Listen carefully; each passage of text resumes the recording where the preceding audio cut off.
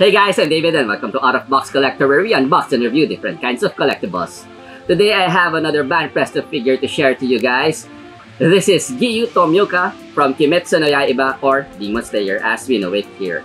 This is one of the most requested figures in my channel. Sorry it took a while for me to create this review. I actually had this figure for a while now but I just didn't have enough time to do a review about it. So anyway, I'm really excited to see what the figure looks like. So, let's unbox the figure. So this is the figure. This is Giyu. This is one of the figures that I was looking forward to on getting when it was announced. And finally, it's here. So, uh, it took a while for this figure to come because this came straight from Japan. So this is the front. As you can see, this is Giyu. And you can see the Bandai and Banpresto logo and the Demon Slayer logo. This is the side. So you can see another photo of Giyu. This is the back. And it has another photo of him uh, together with the Bandai Spirits uh, writings on it. Uh, this is the back and it shows the figure A which is Inosuke uh, in sepia version and uh, the figure B is this one. So this is Giyu. So this is the top. It has three security seals together with the Aniplex logo and the Jaya logo. And this is the bottom. So it says uh, the Bandai Spirits uh, writing. So I can't read Japanese, so I don't know what's written underneath. But anyway, it has three security seals. So let's unbox the figure. Okay, so this is what this, this is new. So we'll have we have different QR codes for this figure. And okay.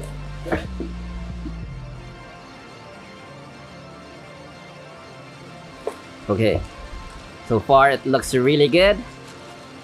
Okay his sword is a bit bent though but it's okay. Okay his head looks really good. Okay let's take him out of the packaging first.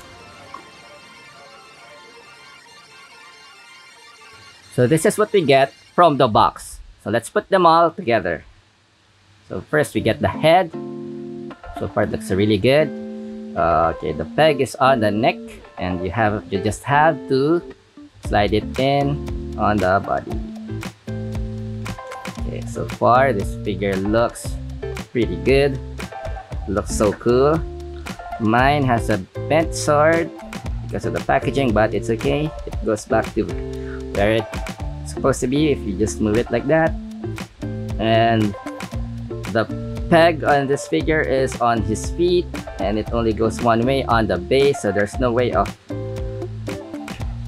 there's no way of um, displaying him without the base. So you have to put it in like so and there you have it. So, I'm really loving the figure. So let's take a closer look at the figure. So this is the figure this is Giyu and it looks so awesome Okay, I'll show you the OOB 360 of the figure first before we take a closer look at the details. And man, it looks very nice.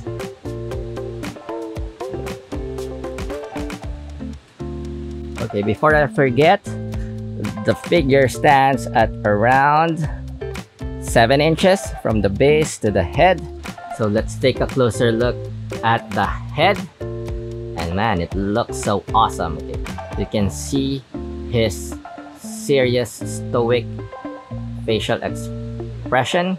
You can see his bright blue eyes.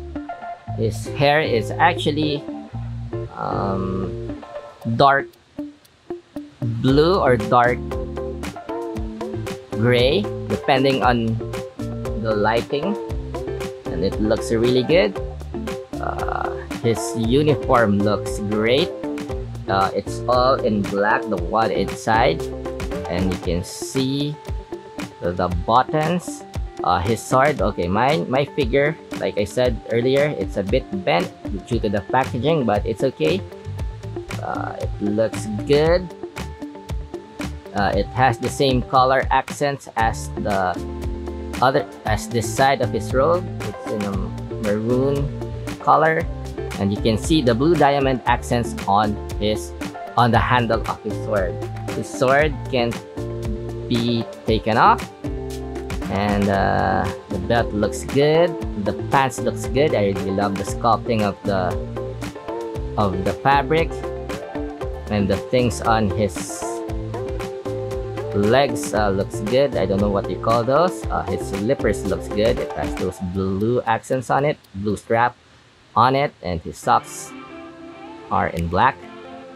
And let's take a closer look at the best part of this figure his coat. Okay they really nailed the paint and the pattern on this figure. I don't know how they painted this one but it looks incredible. It looks amazing.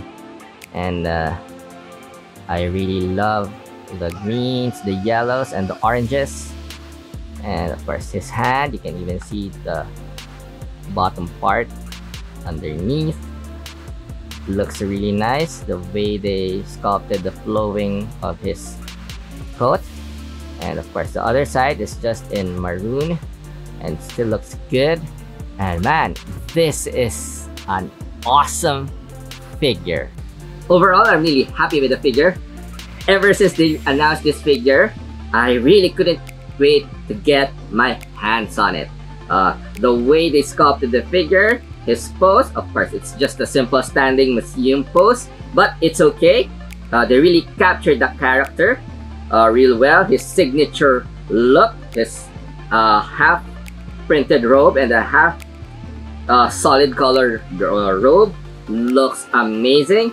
If you love Demon Slayer or Kimetsu no Yaiba, I highly recommend getting this figure. So far, this is one of my favorite figures from the Kimetsu no Yaiba Banpresto line.